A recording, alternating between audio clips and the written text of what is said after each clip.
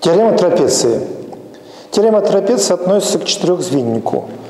Значит, предположим, что в некоторый момент времени движение вот этого четырехзвенника, одно звено, второе, третье, четвертое, напоминаем, это была Земля, в некоторый момент времени так случилось, что одно звено, среднее звено, оказалось параллельно Земле, основанию. Это линия, проведенная через основание. То есть фактически, если будем считать, что эти э, опоры лежат на одной горизонтали, то есть будем считать, что в некоторый момент времени среднее звено стало горизонтальным. Вот в этот момент оказывается уникальное свойство трапеции, но ну, в каком-то таком смысле интересное. Состоит в том, что угловые скорости боковых звеньев оказываются равны. Причем э, сама трапеция вовсе не равнобедренная. Интуитивно кажется, а трапеция равнобедренная, то бедра одинаковые, стороны одинаковые то получается и угловые скорости одинаковые. Да нет, в том-то дело, что э, они могут быть любыми. Покажем это. Достаточно одного уравнения, уравнения трех угловых скоростей, причем э, с y, то есть те, которые содержат y. Ну, условно говорят, иногда в проекции на ось y. На самом-то деле, как раз, когда выводилось уравнение с y, мы проецировали на x.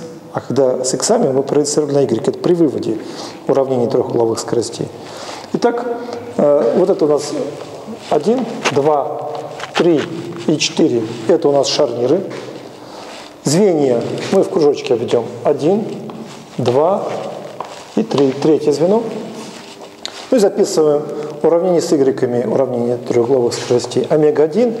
Кстати, здесь вовсе не обязательно э, писать x, э, y2 минус y1. Можем в любом последовательности, но главное, что подряд. Ну, давайте напишем наоборот. Не как мы там писали. Например, y1 минус y2 плюс омега-2. Так удобнее запоминать. 1, 1. Здесь будет 2, стало бы здесь будет тоже 2. А здесь больше, минус y3.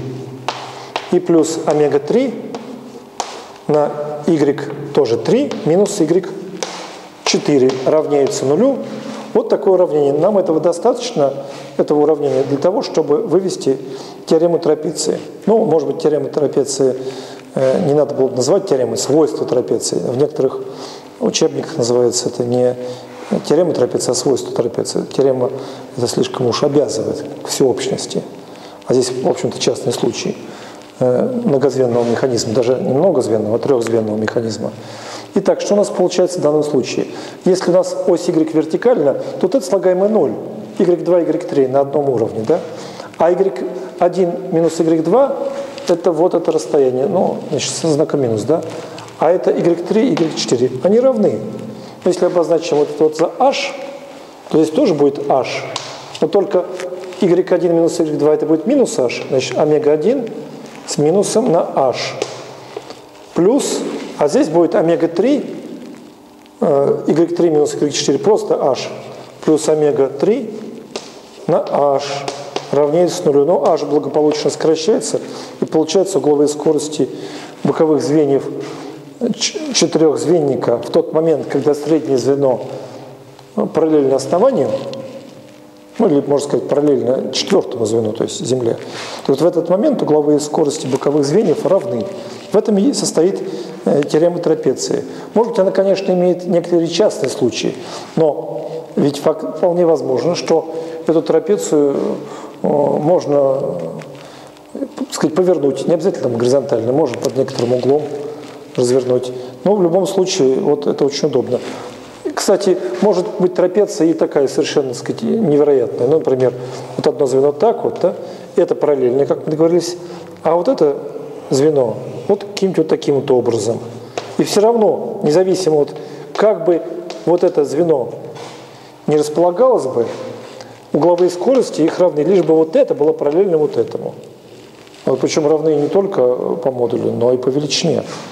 То есть мы, вообще говоря, в уравнениях, это надо было отдельно сказать, конечно, вот в уравнении трех угловых скоростей, вот в этой теореме трапеции мы имеем в виду, мы имеем дело не с угловыми скоростями, а с угловыми скоростями в проекции на оси z. То есть не модули здесь стоят.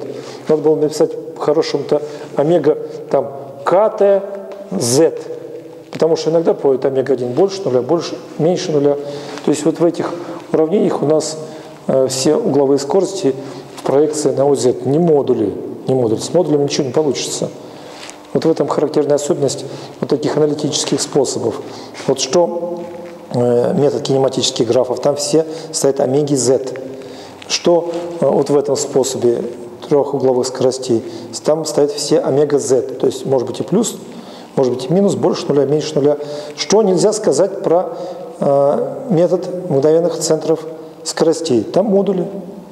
Поэтому, решая задачи методом мгновенных скоростей, мы узнаем модули, а вот направление приходится уже, сказать, э, руками разводить, говорит, ага, налево, направо, против часовой. То есть вот этот метод э, мгновенных центров скоростей, он ну, в каком-то смысле ущербный, э, более простой, там находятся только модули. Ну, конечно, и метод план скоростей тоже находит, конечно, модули, тоже графические, вот два графических способа. План скоростей и мгновенный центр скоростей. А это способ аналитический. Ну, конечно, он частный случай, особенно трапеции, должен быть параллельно, но вполне рабочий.